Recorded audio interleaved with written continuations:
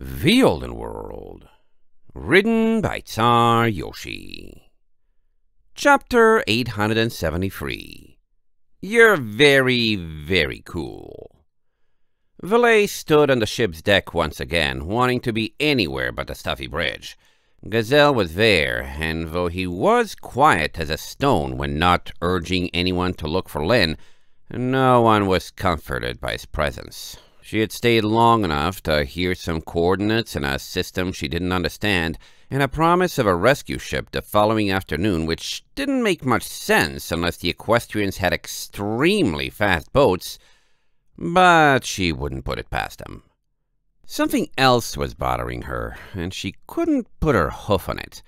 It wasn't how Jamjars had done something stupid without asking yet again, though she wasn't sure how anyone planned to explain to Gazelle there was nothing more a university could do to bring back his sister than they could. It wasn't Gazelle himself and his eerie black cutie mark, though he certainly wasn't helping. Something about the equestrian guards. Uh, that was close. After some time of musing, she heard hoofsteps shuffling behind her, and turned to see a Pegasus who looked like he needed air as well. You're one of the dudes from the bridge, she guessed, going by the look on his face. These Pegasi were worse about looking uniformed than the defense force. Hmm, he sighed, sitting and staring out to sea. Valet raised an eyebrow and got no response. Good day so far, Valet prodded. We're finally getting somewhere. Not a good day, the guard grunted. Do you mind? Valet frowned. Excuse me, are you moping? Because, yeah, I do mind. We've got way too much of that on the ship already, and now we're getting out of here. Why not celebrate or something? We made contact with Kenmari, yes, the guard sighed. No thanks to me. You might not understand the importance of our oath to our princess and country, but we all failed, and then failed again to check each other's failures. I don't know what came over me, but it's made this the lowest day of my career. See? Valet pointed a restrained hoof. That's what's bothering me. Sure, it might have been a little embarrassing, but you went up against a trickster and got what you wanted. And you're only looking on the dark side. It's like everyone's incapable of not being gloomy around here. The guard's face tensed, and he looked away. You could never understand. I had no history with that griffin.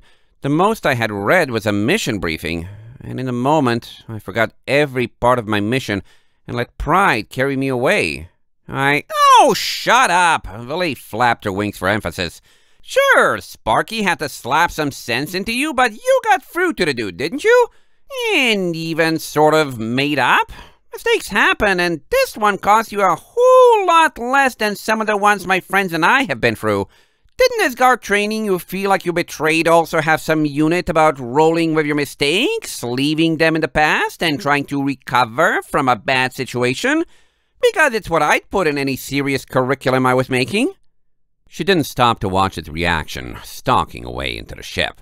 That guard had pinpointed exactly what was bothering her. Rather than being pleased that they were now being rescued, all the Pegasi on the bridge had been upset with themselves. And sure, maybe they had violated some personal code or made an intense moral failure, but couldn't they buck up just a little while she was trying to prevent the ship from wallowing? If everyone had been down, or else just hanging on before they turned around, after the brood beast died, everything had been, oh! Felicity narrowly jumped out of her way, stumbling against the wall. So sorry, darling. I didn't see you there. Valet blinked, focusing. Oh, hey, long hair. She offered a hoof to help Felicity up, sizing out the mirror. Quick sanity check. Off the top of your head, what's the last nice or cool thing you've done that you felt really good about? Felicity tilted her head and fluttered her eyelashes. I beg your pardon? I mean, I, I wasn't expecting to be tested so brazenly, and I don't have the stamina to put work in like some of the rest of us. You have to understand. Nope. No, no. Valet held out a wing, stopping her. Not a test. Not about what you've done for me or anyone else. I'm asking what you've done recently that you feel good about. Felicity's face crunched. I'm flattered that you care, but why? Valet huffed. So we made contact with that university place and are apparently getting rescued tomorrow. Cool, right? I'm afraid I don't follow. And all the guards who were present are moping like it's the worst thing ever, Valet finished. Maybe they've got their reasons. I don't care. We're a million steps closer to not being stranded anymore, and they don't care. So tell me they're just being weird and you can remember the neat stuff you've done because I am tired of everyone being miserable around here. Felicity worked her jaw. I, darling, I owe you so much, and I'm so far from being in a position to brag. I literally don't care, Valet insisted, grabbing her shoulders. I'm asking you because you're the first random pony I ran into. I'm tired of hearing everyone being depressing when I'm alive and we're not dying and we're getting to go to a place that's not ran by despots. I already know what you've been up to while I was gone. I talked to Harshwater. Tell me you can feel good about the stuff you have to feel good about. I... Felicity swallowed. Valet tapped a hoof. I'm sorry, Felicity sighed, hanging her head.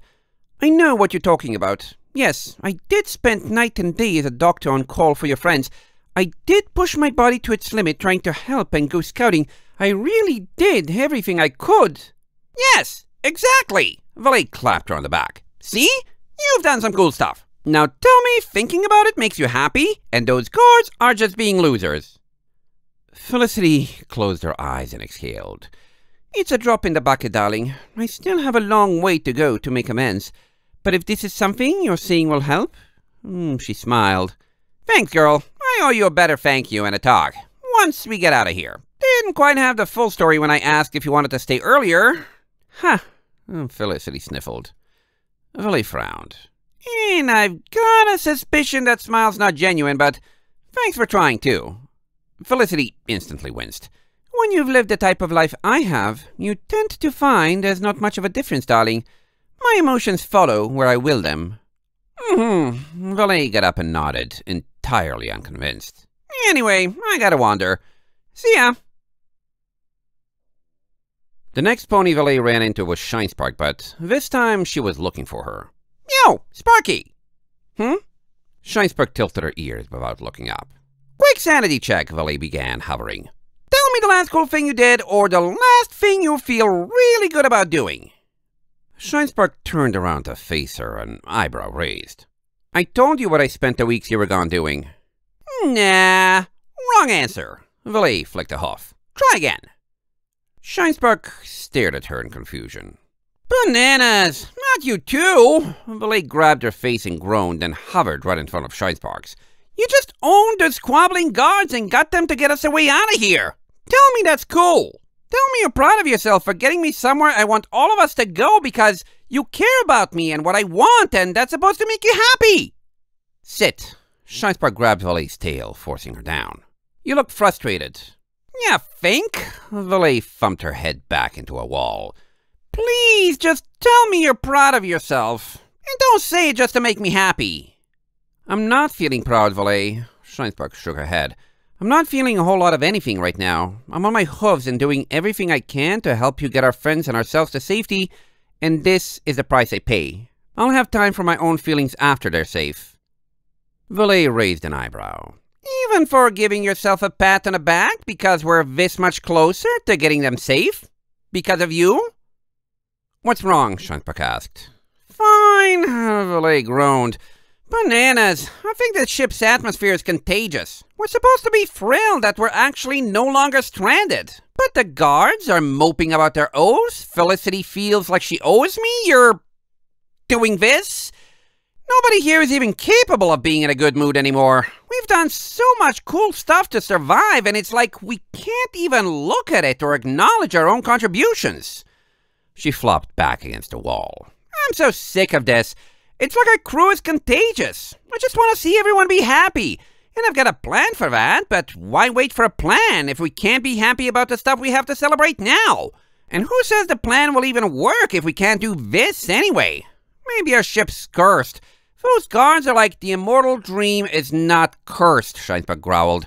If it is, it's my curse. Building it for a dream it might take decades to complete, if ever. Uh, she sighed. So what about you? Leading by example? What are you happy about? Valet waved a huff. Already thought it over. I'm not dead. I smashed those beasts. Save your ears. Got to see some glimmers of hope in your eyes after beating a fate worse than death, and for a while, I was thrilled. I felt it. I was so happy, and you saw me. She rolled over. And now? Bananas. It feels exactly the same as it did in the Empire. Yeah, we've got our lives and our friendships and everything else, but if we could just get rid of this one last problem that's in the way of us enjoying our lives, you know, I know what I've done. I know I'm cool, and I'm not about to let go of that and start feeling like a weapon or a monster again. I won't. But it feels like there's a blanket between that feeling and my heart. I just want to see you guys happy too and enjoy being alive with you. And instead, it feels like we're sinking even though we're closer to wherever we're going next than we've ever been before. Shinespark put a hoof around her shoulders. I want to see that too. Whatever is in our way, wherever we have to go, I promise I'll survive long enough to see that day with you when it comes, Valet. Ha! Huh. Love you too, Sparky. End of chapter 873.